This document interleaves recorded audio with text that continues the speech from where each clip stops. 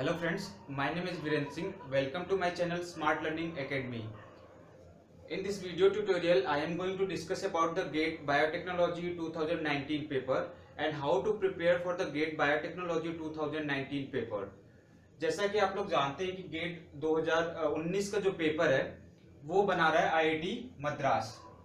ठीक है? तो गेट 2019 का पेपर आईटी मद्रास बना रहा है। इससे पहले जो आईटी मद्रास ने पेपर गेट का बनाया था, वो बनाया था 2011 में। ठीक है?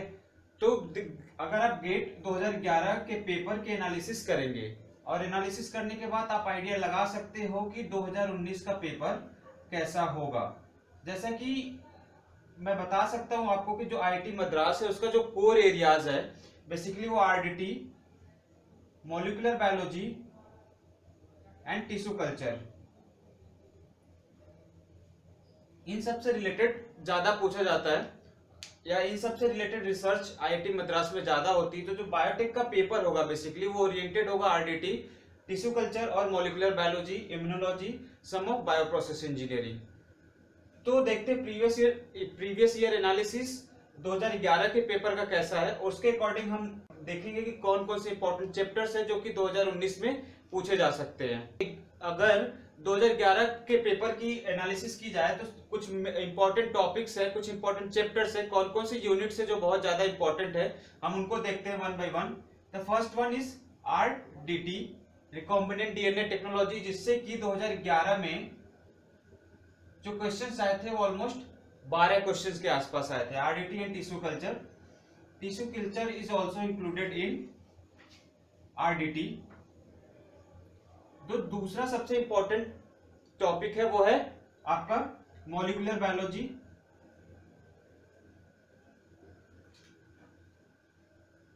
मॉलिकुलर बायोलॉजी से भी जो क्वेश्चन आए थे ऑलमोस्ट नाइन क्वेश्चन आए थे। थर्ड जो सबसे इंपॉर्टेंट है वो है बायोप्रोसेस इंजीनियरिंग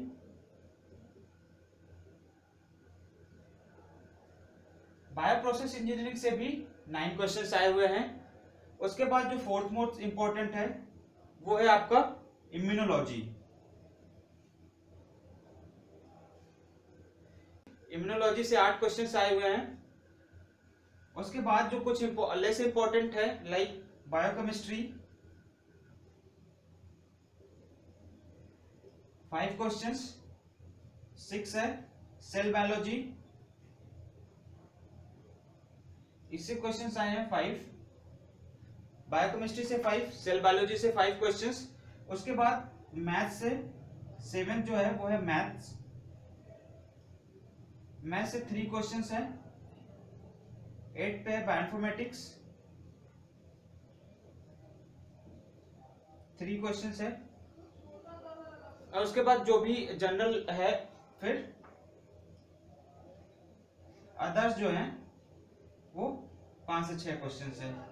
जो मिक्सड लाइक माइक्रोबायोलॉजी हो गया, या आपका टेक्निक्स हो गया, जिससे दो क्वेश्चन आए माइक्रोबायोलॉजी से दो क्वेश्चन आए। तो ओवरऑल जो आप एनालिसिस देख सकते हो गेट बायोटेक्नोलॉजी 2011 के पेपर का, जो कि आईआईटी मद्रास बनाया, उसमें जो इंपॉर्टेंट चैप्टर्स आपको दिख रहे हैं, ये इंपॉर्टेंट चैप्टर्स हैं। अगर टॉप फाइव की बात की जाए RDT and tissue culture molecular biology bioprocess engineering immunology and biochemistry ठीक है? तो आप यहाँ से देख सकते हो कितने क्वेश्चंस आए हुए हैं। आपको देखेंगे तो आप ये करीब आपका 43 क्वेश्चंस तो यहीं से इंक्लूडेड है। पूरा का पूरा ये टॉप फाइव चैप्टर से। तो ये चैप्टर्स है जो वेरी इंपॉर्टेंट है इस साल के लिए, क्योंकि आईटी मद्रास फिर 2019 में पेपर बना रही है। तो आप इन चैप्टर्स को अच्छे से पढ़े। और आगे आने वाले वीडियोस में मैं बताऊँगा वन बाय वन की कैसे पहले बायोकेमिस्ट्री शुरू करेंगे और वन बाय वन बताऊँगा। एक एक सब्जेक्ट को मैं लूँगा और उसको डिटेल में बताऊँगा, कैसे उससे उसको कैसे पढ़े और उससे कैसे गेट क्वालिफाई हो, ठीक है? तो thank you for watching this video hope you like it and please like and subscribe my channel thank you very much